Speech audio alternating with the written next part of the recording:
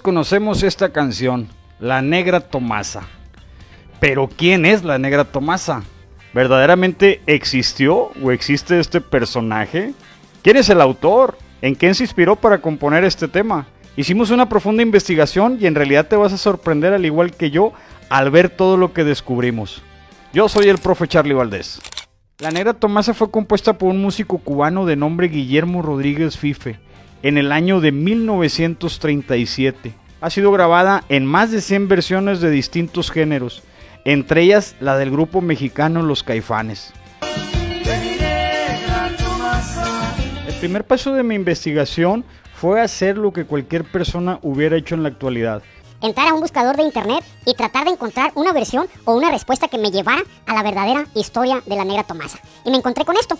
La negra Tomasa era una mujer cubana muy atractiva, muy carismática y de un cuerpo espectacular, que su madre era una esclava, pero sus patrones le heredaron un pedazo de la hacienda en la que trabajaba. Y esto permitió, gracias a su espíritu bondadoso, ayudarle a toda la gente pobre y vulnerable del pueblo. Pero yo no creo que la historia de la negra Tomasa haya sido tan fácil para encontrarla. No quedé conforme con esta versión, así que seguí investigando. Seguí con la investigación y me encontré con un dato que en realidad me confundió demasiado. Resulta que una cantante mexicana de nombre Dulce, en una entrevista, ella comenta y asegura que Juan Gabriel fue el autor de la negra Tomasa. Escuchemos. No, es que la era una señora como mulatita. Muy guapa la señora, yo la conocí.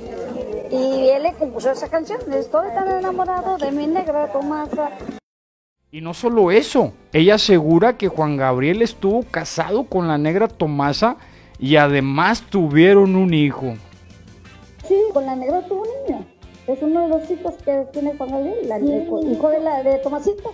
Me sorprendió demasiado este dato que me puse a ver los conciertos de Juan Gabriel a ver si encontraba algo que nos llevara a la respuesta.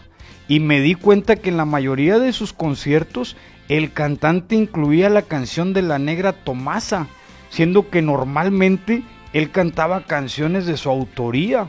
Esto me sorprendió demasiado y me llegué a preguntar si Guillermo Rodríguez Fife le hizo un plagio a Juan Gabriel.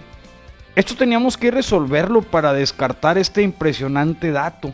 Pero fue muy sencillo porque si recuerdas al principio del video mencioné que la negra Tomasa se compuso en 1937 y chequé el año del nacimiento de Juan Gabriel y esto fue en 1950. La cantante Dulce miente al decir que Juan Gabriel es el autor de La Negra Tomasa.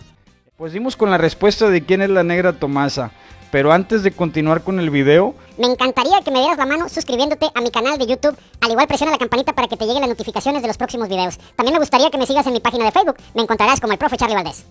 Todo sucedió en 1936, cuando Guillermo Rodríguez Fife llegó a La Habana, Cuba, y formó el trío con el nombre El Trío Azul.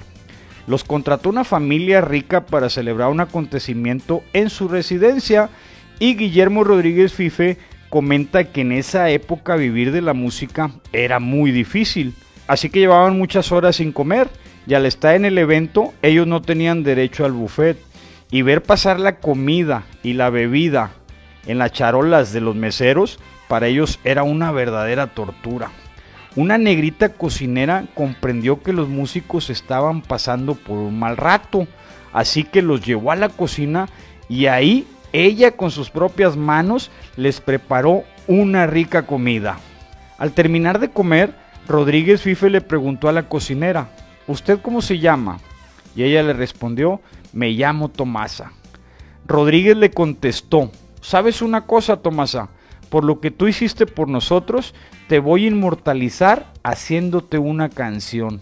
Y poco después compuso La Guaracha Bilongo que es la que hoy conocemos como la Negra Tomasa. Escuchemos un poquito de la primera versión que se grabó el 5 de marzo de 1939 por la orquesta Hermanos Levatar. Les voy a poner otro fragmento donde mencionan que le gustó mucho la comida que le sirvió aquella cocinera. Y también mencionan que les gustó mucho el café que le sirvió la negra Tomasa. ¿Y de dónde sale la palabra bilongo? Pues bilongo significa brujería. Así que en la canción dice que la negra Tomasa le puso bilongo a la comida y es así como se enamoró de ella. El agradecimiento de estos músicos hambrientos en ese momento hicieron que esa cocinera de color se inmortalizara con esta canción que aún sigue en el gusto de todo el público. En pocas palabras, resuelto. Aquella cocinera de color fue la negra Tomasa. Nos vemos en la próxima. El profe Charlie Valdés lo saluda.